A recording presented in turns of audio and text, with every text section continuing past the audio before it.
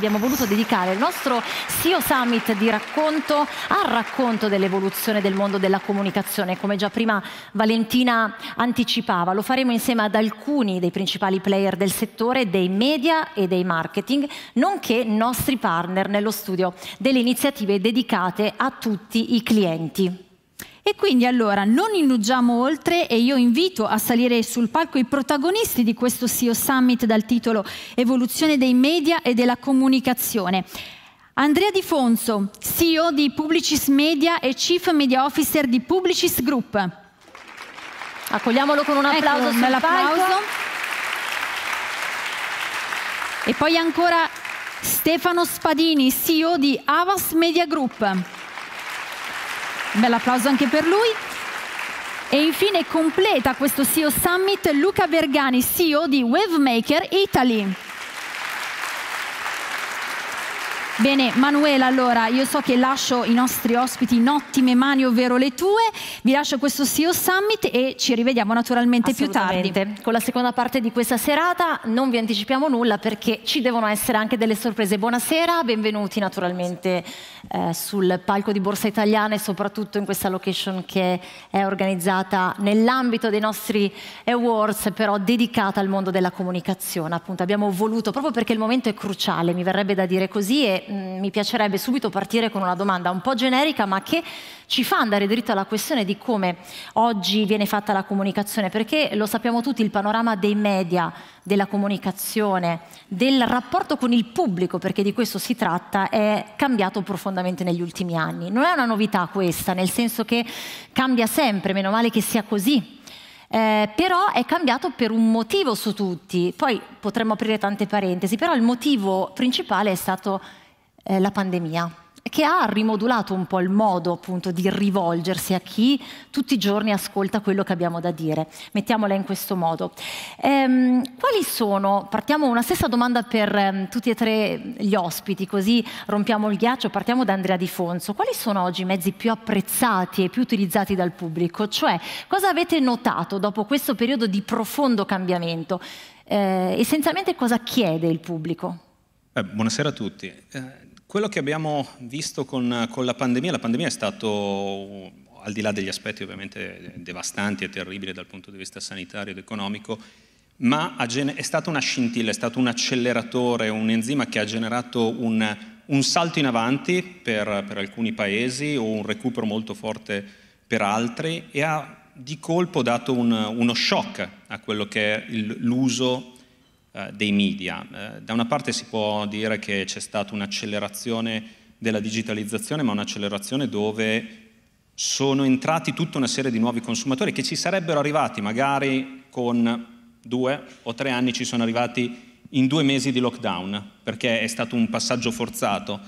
E i mezzi non c'è più un elemento di cosa è più o cosa è meno apprezzato, eh, perché questo ha creato anche una fluidità enorme tra i differenti mezzi, una infedeltà da parte degli utenti, noi consumatori, chiamiamoci un pochettino eh, come vogliamo, e quindi la libertà di muoversi da una parte all'altra e non c'è neanche più una differenza così rigida tra quello, io guardo un contenuto, forse mi dimentico anche dove ho visto quel contenuto, l'ho guardato in televisione, l'ho visto online, ne ho vista la replica su un canale digitale, era su un social e, e quant'altro.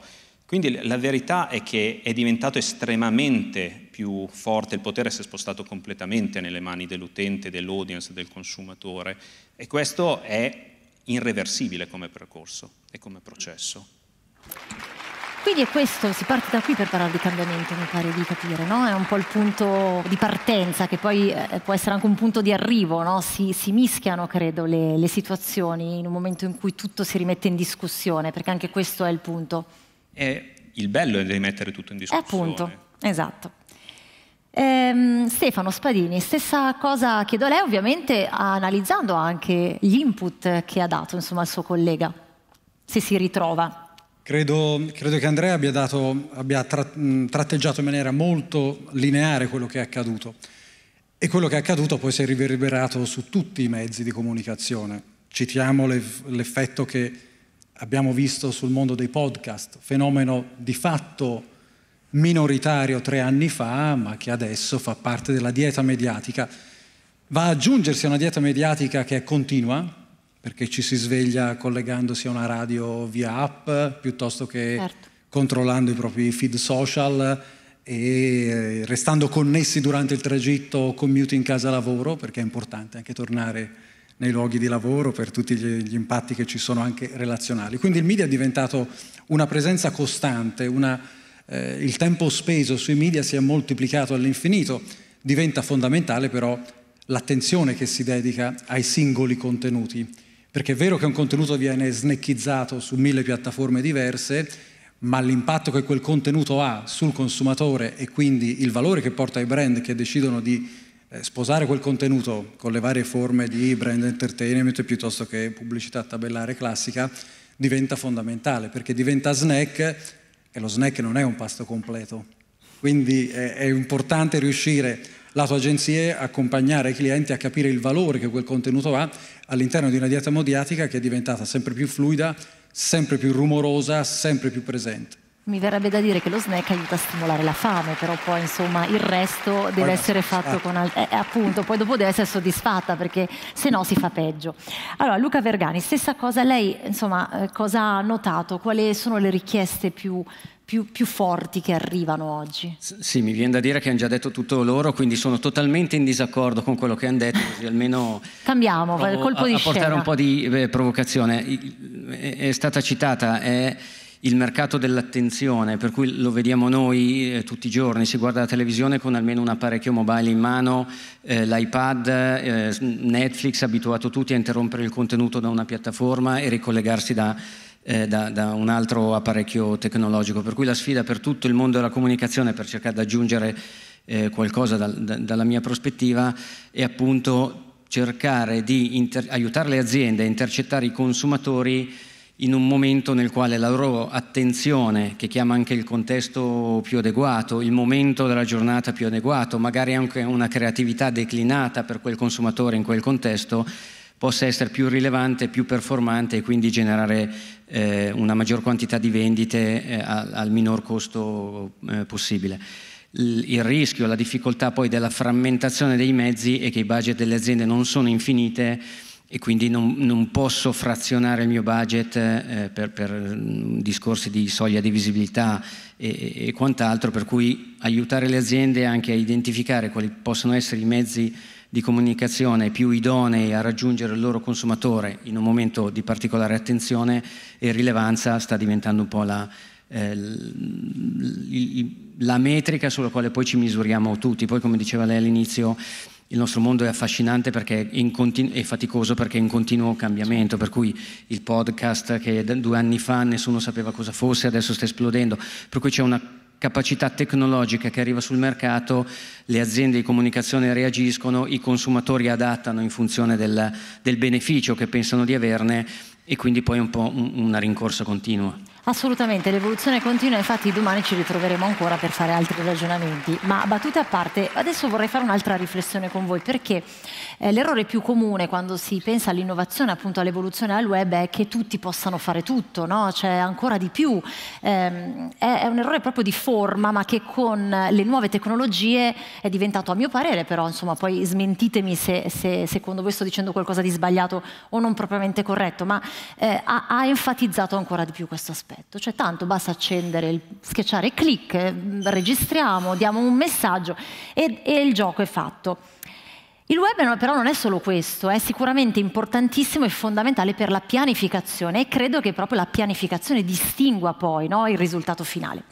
Eh, quali sono, quindi partiamo da qui anche con questa riflessione insomma, su, su, una forma che abbiamo, una forma mentis che molti hanno, quali sono gli elementi che vengono valutati nella selezione dei mezzi poi che vengono utilizzati per le varie campagne, che poi sono quelle che fanno distinguere una società da un'altra? Intanto la parola web è assolutamente fuorviante. C'è un passaggio di uno degli ultimi, li- l'ultimo libro scritto da Angelo Baiocchi dove non usa la parola web, dice il digitale è. Di solito si dice il digitale è mobile, il digitale è la televisione connessa e quant'altro, si ferma alla, al verbo è. Eh, perché oggettivamente quello che abbiamo oggi davanti è un tutto, quindi quando parliamo di web parliamo di qualcosa che anche una televisione connessa è web. Abbiamo cambiato il protocollo, la, tutto quello che sta succedendo, la, la parte di notizie ed è vero anche che l'elemento digitale, quello che citava prima, è stato un abilitatore. Uno, qualunque strumento permette di produrre contenuti, però nel decidere dove pianificare, cioè il tema è dove trovare le audience che ci interessano, come entrare, come ingaggiare le audience che ci interessano, come farlo in, in luoghi, in contenuti che siano safe per i brand, che siano coerenti con i loro valori, i valori di marca, perché un altro elemento che la pandemia ci ha insegnato molto bene è che sono passati, sono esplose, la, esplosa l'attenzione anche spietata da parte dei consumatori nei confronti dei valori della, delle marche, dei, dei, brand, della loro attenzione, attenzione sociale, attenzione all'ambiente e, e quant'altro. E quindi la scelta di pianificazione è dettata dove trovo le teste che per me sono rilevanti, dove trovo i miei consumatori.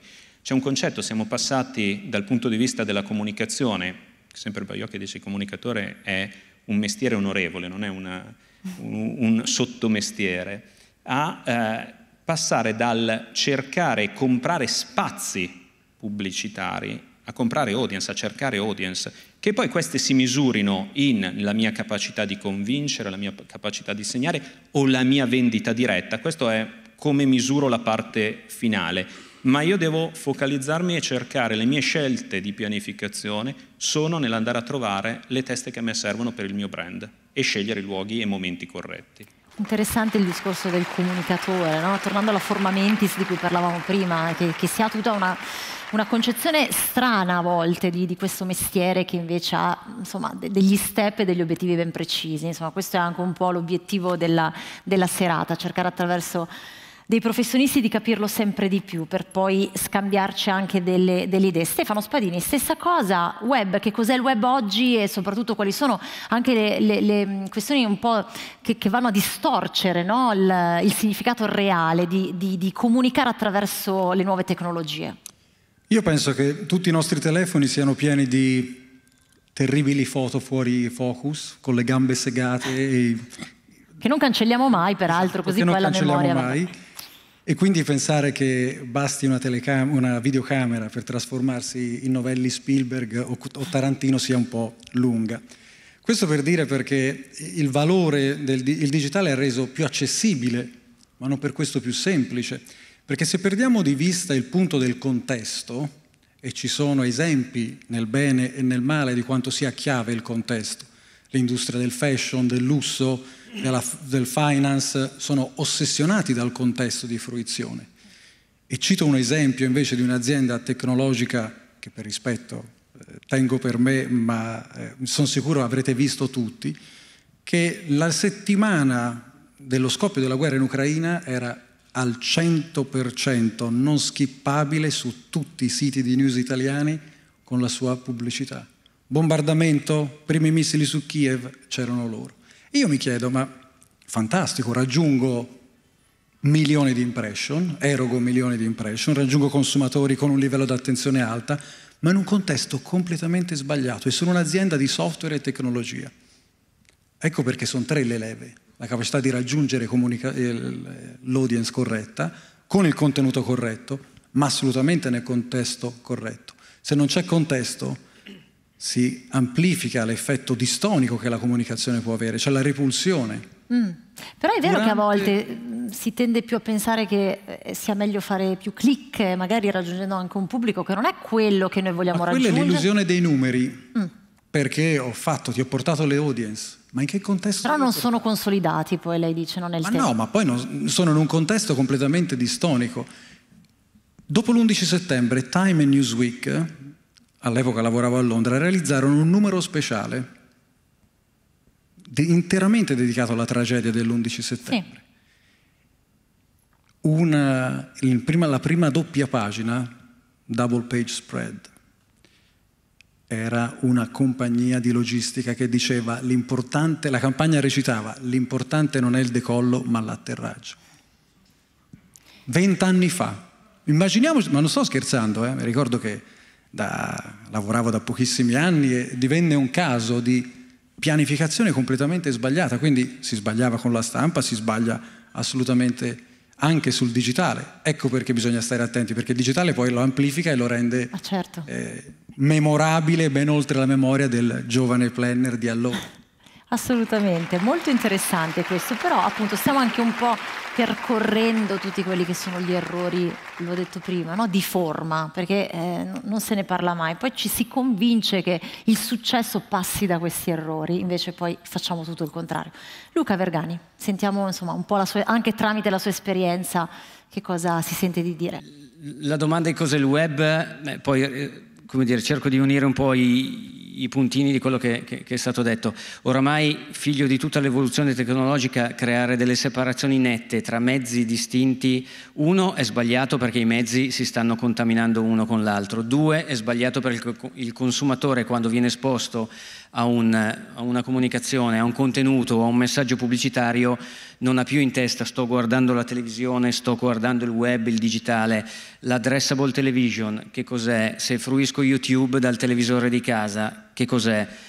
Per quello dicevo il mercato dell'attenzione e capire il momento nel quale raggiungo un consumatore con quale messaggio per evitare errori tipo quello che eh, raccontava Stefano. Questo chiama sia la selezione del contesto, e quindi capire in quale contesto e in quale momento io vado a raggiungere il consumatore, che ovviamente è il messaggio che gli vado a deliberare per mantenere coerenza con i miei valori di marca e coerenza con poi il contesto all'interno del quale io eh, io appaio.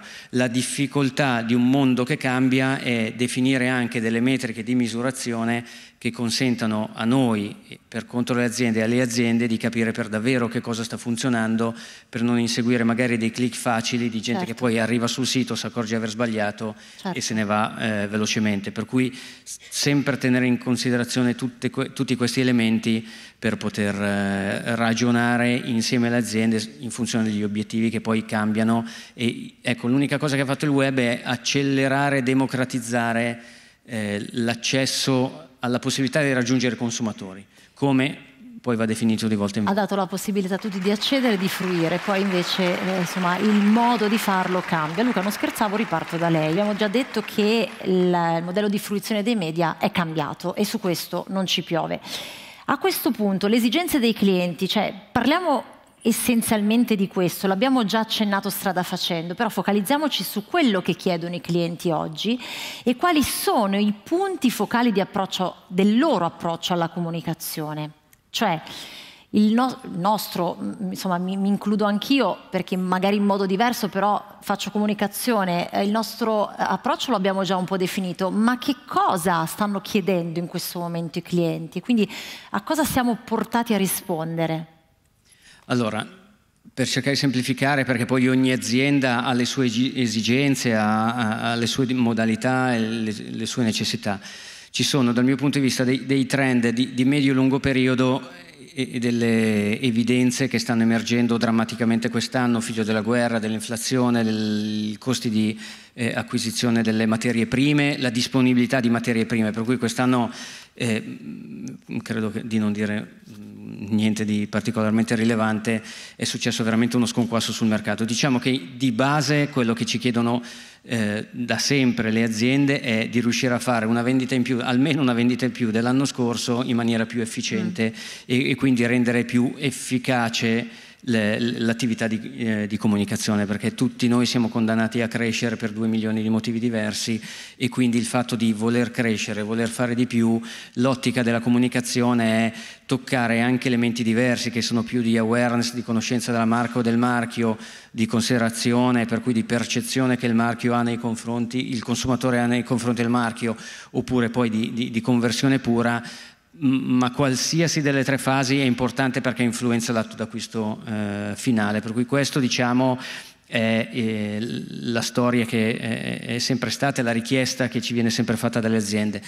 L'evidenza di questo ultimo periodo è drammaticamente aiutarle a rendere ancora più efficiente, se possibile, l'investimento in comunicazione perché tutte le aziende sono messe sotto stress dall'incremento dei, dei costi su tutte le righe del, del, del, proprio bilancio e quindi anche drammaticamente aiutare a selezionare chi rimane dentro i piani e chi viene buttato fuori perché magari in logica di priorità è meno determinante certo. per gli certo. obiettivi di breve. Allora Stefano Spadini, parola lei così questa volta sarà Luca Vergane non aver niente da dire. Suggerisco. Siamo democratici, anche visto che mi ha detto che il web è, Sì, è stato più democratico. Sono in mezzo, resto sempre secondo, mi va benissimo, ci mancherebbe. Credo che il compito di un'agenzia sia quanto mai oggi la, il bisogno, rispondere al bisogno principale dei clienti. Come affronto questo panorama in continua evoluzione?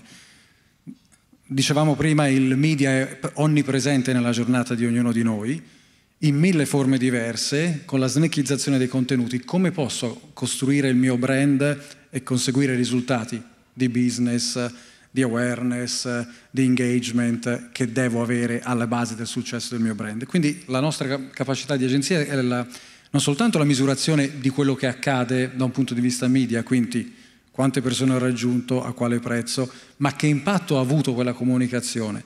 Se vendo servizi di sport marketing devo misurare con le metriche dello sport marketing quella singola attività.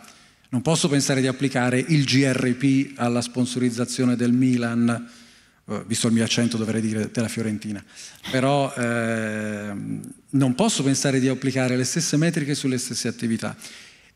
La, quando Luca prima parlava dell'attenzione, come la misuro l'attenzione? Che impatto ha? Non solo sulla singola vendita, ma sulla, sul lifetime value del singolo consumatore. La sfida nostra dell'agenzia è affiancare i clienti a capire che quell'investimento in comunicazione, e la pandemia ci ha insegnato che le aziende che non hanno abbandonato gli investimenti in comunicazione sono le aziende che poi sono ripartite prima.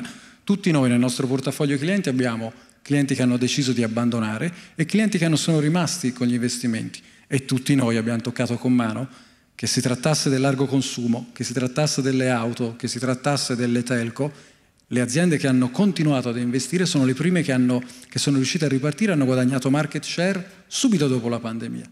E questo è un ruolo molto importante, quindi misurare il media sì, misurare tutte le attività che accompagnano la costruzione dell'esperienza di marca, che è un'altra è un altro punto focale del successo di un brand. Io creo esperienze dal punto vendita, le creo con il media, le creo con le sponsorizzazioni, le creo con il content, le creo con l'e-commerce. L'e-commerce non è altro che un'esperienza per il consumatore, che sia poi un carrello, una vetrina, un carousel o una raccomandazione, ma sempre esperienza di brand, di marca è per il consumatore.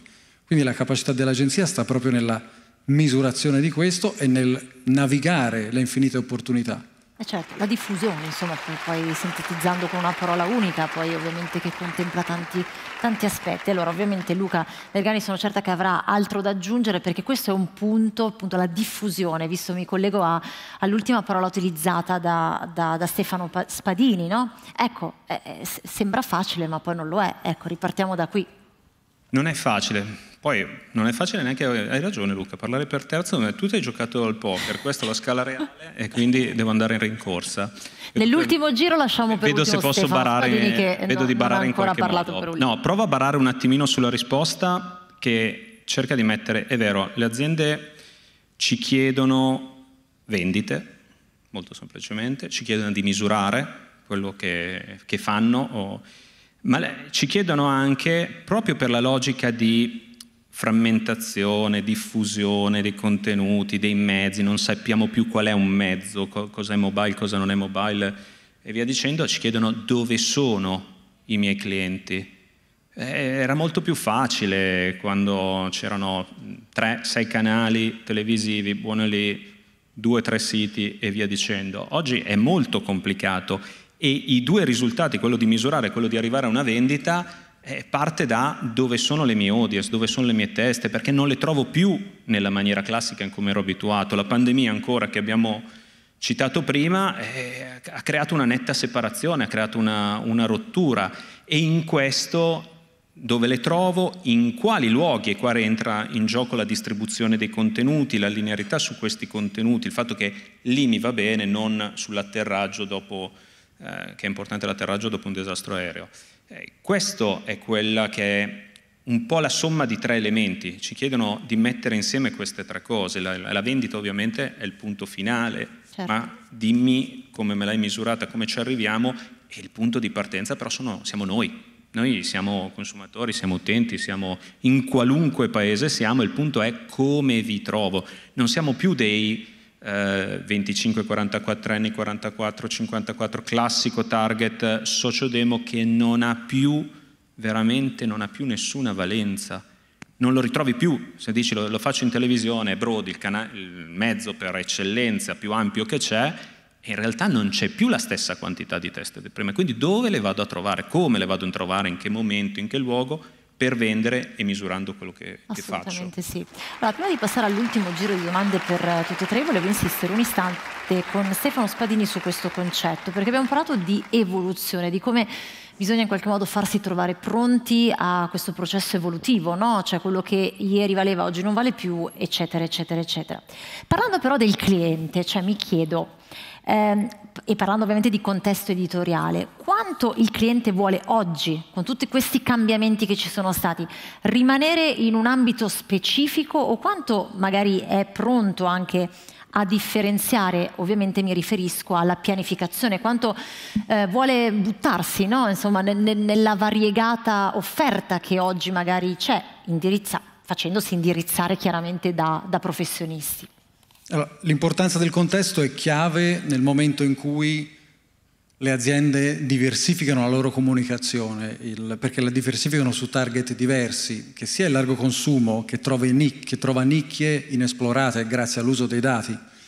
Posso essere una tisana e lo stereotipo del target tisana è signora che ha 4-5 bisogni ben identificati, ma casomai scopro che c'è un target maschile che non ho raggiunto e questo lo faccio con i dati. In quel caso diventa chiave non solo il contenuto, ma anche il contesto vado, uh, all'interno del quale vado a comunicare il mio brand. Quindi l'importanza del contesto è più forte ora di quanto non fosse solo 5 anni fa, perché va di pari passo con il contenuto che vado ad erogare. In realtà quello che poi accade nel, nel, lavoro di agenzia, e lo vediamo nella quotidianità con i nostri clienti, il rischio maggiore è quello di fermarsi al minimo comune denominatore. Mm. Faccio una scelta che in realtà non è una scelta, cerco di trovare qualcosa che più o meno va bene alla, alla pancia mia, del mio target di, se, di segmentazione della mia segmentazione di target e quello è un rischio perché mi perdo la parte alta, mi perdo la parte bassa e divento inevitabilmente irrilevante ai fronti di un consumatore che ricorda molto di più le differenze. Se sono un profumo è evidente che ho una fragranza di un certo tipo, ma se mi limito a parlare di fragranza, io posso avere la fragranza A, la fragranza B, la fragranza certo. C, ma sempre fragranza sono. Quindi per le aziende diventa fondamentale lavorare sulla diversificazione, su, sull'elemento che è veramente distintivo. E questo poi spinge chi si occupa di pianificazione a capitalizzare su quello, per evitare di finire in, eh, nel mare magnum della comunicazione dove in realtà poi non c'è distinzione, a creare quell'effetto tappezzeria di un motel dell'Arizona, entro, la vedo, mi rendo conto che è brutta e me la dimentico non vedo l'ora di certo. togliermela dalla testa. Ecco, non sono mai stato in un motel dell'Arizona, ecco, questo c'è. Ah, lo, Te lo stavo per Vabbè. chiedere. Infatti vedevo che era pronto. No, ma un'ultimissima cosa però sono ancora su questo punto. Ehm, se dovessi chiederle, abbiamo delle campagne tradizionali, no? il cliente, adesso ci siamo concentrati sul motel dell'Arizona, siamo lì. Però è importante questa precisazione, ma ehm, al di là abbiamo le campagne tradizionali, quindi quando un cliente vuole ovviamente eh, pubblicizzare il suo brand, e poi ci sono eh, tutta quella parte di iniziative speciali no? che vengono fatte una tantum. Ecco, che interesse c'è per queste iniziative speciali, ma soprattutto che effetto hanno? Cioè, in media, quant- che risultati insomma, riescono a, a, a raggiungere?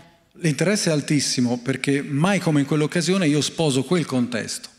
Cito un esempio arcaico per far vedere che comunque l'evoluzione c'è ma si parte da una base storica. Eh, Friends era sponsorizzato da Nescafè, mm. perché Friends, vi ricordate la serie di oltre vent'anni fa, era ambientata all'interno di questo, eh, di questo Mm, coffee shop, eh, esatto. all'inizio dei coffee shop erano sempre sul divano, si incontravano e c'era la mag di Nescafè che era un elemento chiave, sponsorizzazione perfetta. Primissimi esempi di, si parla veramente di oltre vent'anni fa. Ovviamente adesso col digitale io posso accompagnare il contenuto ovunque sia. La misurazione dello stesso non la posso mettere sullo stesso piano di quanti GRP mi ha sviluppato, perché se io faccio quel tipo di attività non cerco OTS, o meglio, non cerco solo eyeballs, eh, occhi, da, ma cerco di creare un legame con il mio consumatore e quindi devo misurarlo con altri items, intention to buy, likability, recommendation, eccetera. Quindi diventa fondamentale, sempre più parte delle strategie di tutti i brand. Pensiamo al fenomeno degli influencer. Cinque anni fa, zero. Tre anni fa si iniziava a vederlo, adesso è un must della esatto. stragrande maggioranza dei nostri clienti e anche lì attenzione a non credere di essere tutti dei novelli Spielberg. No, esatto, questo è un po' il punto di partenza, ma sarà anche il punto di arrivo, vedrete. Allora, Andrea Di Fonso, riparto da lei con una domanda per, per tutti e tre eh, gli ospiti che ci porta alle conclusioni, quindi un, un, dire, una, una riflessione un po' più flash le tendenze che vedete per il futuro nell'ambito della comunicazione, insomma, così per dare anche degli input no, alla nostra platea di questa sera. Faccio una tendenza al 2050 così poi venitemi a cercare eh, se ho sbagliato. No, a parte le battute, eh, credo che una, la forte tendenza, che è anche la forte richiesta, è di smetterla di guardare i singoli mezzi. Cioè la parola mezzi proprio la vediamo superata. Eh, seguirò i contenuti che mi interessano e quindi l'audience che guarda quei contenuti ovunque essi siano. Cioè proprio la dematerializzazione del, forse la stessa parola di piano media, di attività media che diventa obsoleta. Ok, questo è molto interessante. Luca Vergani, arrivo da lei. Stessa domanda.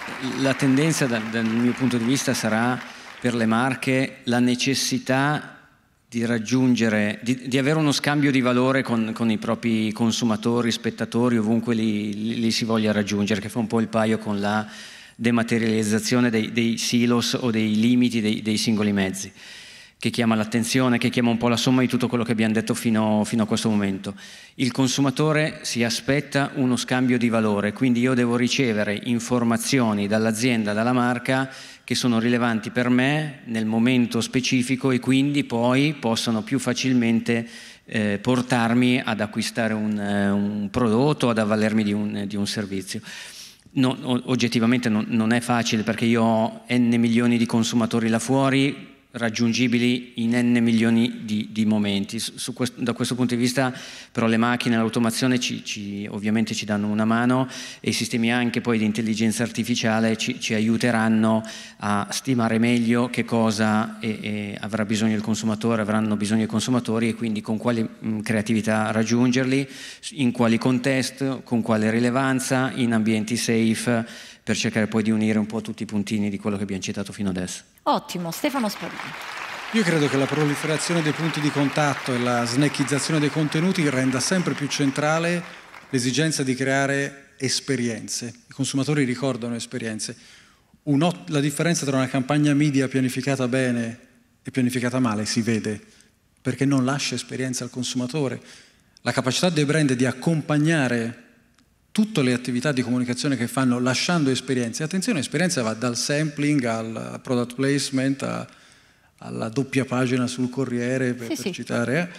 ma creo esperienza di marca. I consumatori ricordano esperienze, ricordano esperienze, che sia poi un'esperienza che ritrova sul punto vendita, che ritrova a scaffale, che ritrova in viaggio, che ritrova all'autogrill, ovunque essa sia. Però è coerente con l'esperienza di marca che voglio creare.